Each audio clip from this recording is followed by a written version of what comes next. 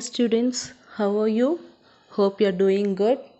Adharsh Vidyalaya Matriculation Higher Secondary School welcomes you for online class. Students will continue with our chapter 6 and this is our session 2. The topic is advanced basic. Branching statements. Branching statements we have four things unconditional, multiple, conditional branching, looping. So the previous class we have discussed the first two headings unconditional branching and multiple branching. Now we'll go with conditional branching if then else and looping for next. Yes, this is your last two topics of this session. Yes, conditional branching if then else, looping for next if then else that is in if it is a condition in if a condition will be given if it is true then part will be executed. If it is false else part will be executed. For example if teacher is on leave then go to pt period.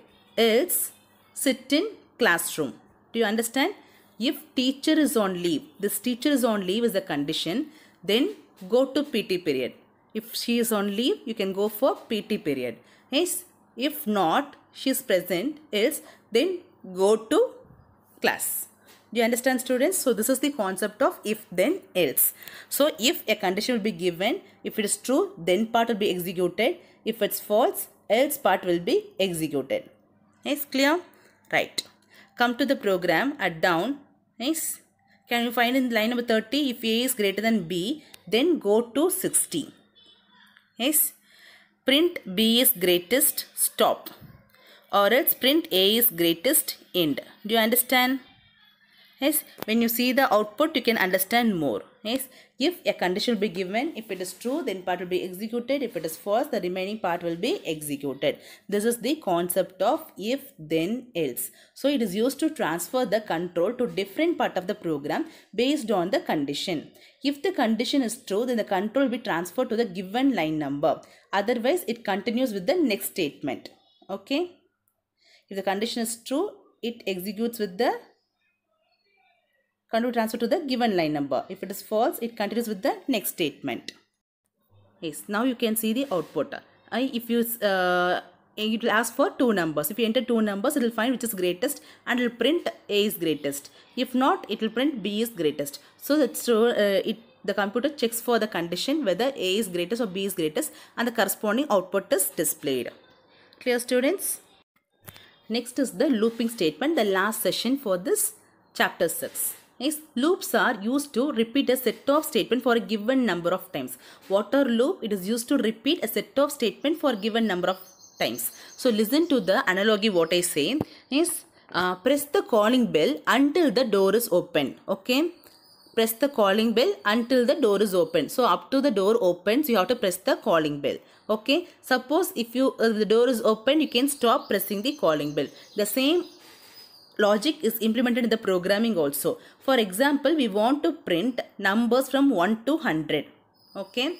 Yes, it have to increment one by one and it has to print 1 to uh, up to 100 we can't give print 1 print 2 print 3 print we can't type 100 lines for printing 1 to 100 so we are using a small logic of the program to increment a value. Guys, see the syntax the line number for is equal to starting value next ending value next is step value. If we want to increment by 1 by 1 1 2 3 we can give increment value as 1 suppose if we want to Uh, uh, give skipping of two values then you can give step value as 2 so for here it is 1 to 100 so we are giving step value as 1 so listen you will understand. For i is equal to 1 to 100 step 1 so it will be added 1 1 1 1 plus 1 2 next 2 will be printed. Next 2 plus 1 3 again 3 will be printed. So it goes on with the five lines of this coding. Do you understand? Print i next i. So again this i will be printed one by one. Are you clear with this right. See for i is equal to 1 to 100 step 1 that is 1 to 100 it will be printing with the increment count of one value. Print i. First one will be printed. Next i. I will be incremented to step value 2 next again 2 will be printed. Again it will be incremented. Again 3 will be printed. So it goes on up to 100 when you see the output you will understand much better.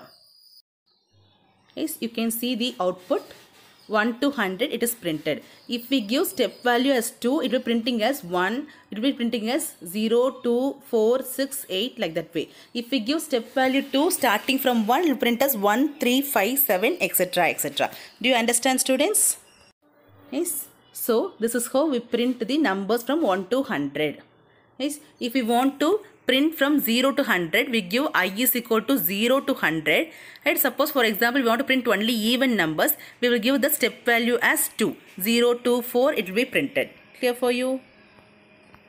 Suppose if you want to print the odd value 1 to 100 then you can give i is equal to 1 to 100 step value as 2 so first 1 will be printed next step value when you give 2 3 5 7 will be added from 2 to digit and it will be printing up to 99 do you understand the concept of uh, iteration? That is a looping statement Yes, it displays the result until the condition is met. Okay?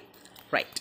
So this is about the looping statement. This is the end of session 2 are you clear with this looping statement?